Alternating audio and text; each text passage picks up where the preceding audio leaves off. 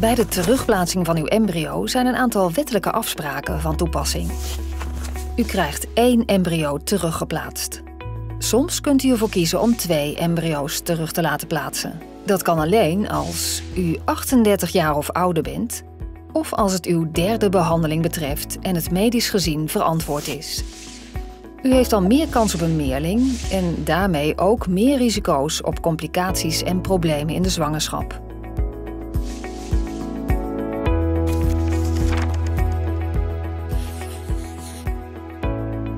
Drie dagen na de punctie hoort u of er embryo's zijn ontstaan. Afhankelijk van het aantal vertellen we u of u diezelfde dag nog de terugplaatsing krijgt. Als er meer embryo's zijn ontstaan dan het aantal terug te plaatsen embryo's, laten we ze nog twee dagen doorgroeien en krijgt u vijf dagen na de punctie de terugplaatsing.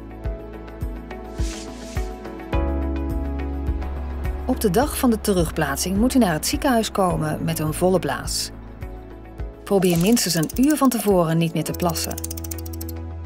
Daardoor ligt de baarmoeder gunstiger en is het beeld tijdens de terugplaatsing veel beter. De terugplaatsing is geen ingewikkelde handeling en is meestal binnen 5 minuten voltooid. Het is in principe niet pijnlijk. Uw partner is hier bij voorkeur ook bij aanwezig. De analist vertelt u hoeveel eicellen zijn bevrucht en hoeveel embryo's er zijn ontstaan.